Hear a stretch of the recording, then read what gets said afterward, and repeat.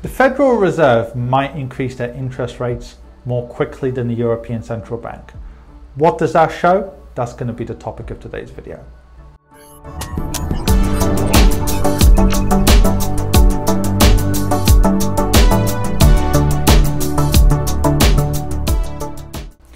Hi everyone, so before talking about this video, don't hesitate to go to adamfayed.com, especially if you're an expat or a high net wealth individual. Now, on today's video, I'm going to talk about the Federal Reserve. Now, it seems like they're going to increase their interest rates more quickly than the European Central Bank, the Japanese, and also the British central banks. Now, what does this show?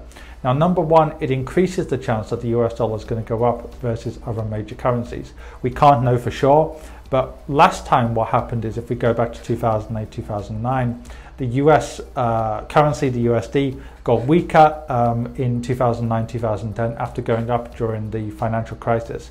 But then as the US actually tightened more quickly, um, the dollar kept going up gradually over time, especially by like 2018, 2019, when the US increased interest rates, we saw a big increase in the US dollar, especially against some currencies. So if that happens again and interest rates are back at 2 or 3%, you would expect the US dollar to be stronger than some other major currencies. But we can never really know because look at 2008 and 2009 when the US was stimulating like crazy, lowering their interest rates aggressively. People expected the US dollar to absolutely fall you know, in a big way compared to most currencies. It actually didn't happen. So we can't know. But linked to that, a lot of people are saying, well, if you can suddenly get 2.5% or 3% in the bank in, say, 2022, 2023, could that affect stock markets? And personally, um, I think interest rates would have to go up higher than that.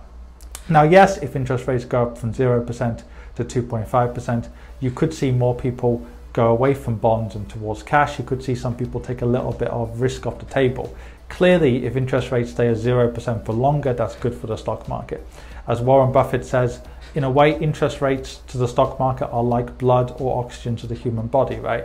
If firms can uh, borrow money at close to 0% and they can invest, they're going to make more money than if uh, it's a 3% or 2.5%. But at the end of the day, 2 or 3% interest rates is not like 5%, never mind 10% interest rates. So the stock market can do well in all of those circumstances, even in the 80s and 90s when interest rates were higher, the stock market did very well in those periods. So I think it's nothing to worry about. Obviously, there's always going to be upturns and downturns in the stock market, but that's perfectly natural.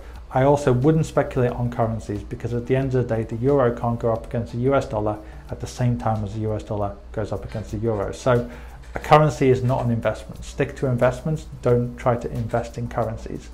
That is one of the key things that people forget. It's a bit like if you buy the S&P 500 in the US dollar or the euro or the pound, you'll get the same return in a common currency because you're not investing in the currency, you're investing in the underlying asset. How can I help you? In two ways. First of all, are you an expat, a high net wealth individual, or just somebody who lives in a part of the world where it's difficult to get access to quality investment solutions? In which case go onto my website on adamfayed.com and find out more.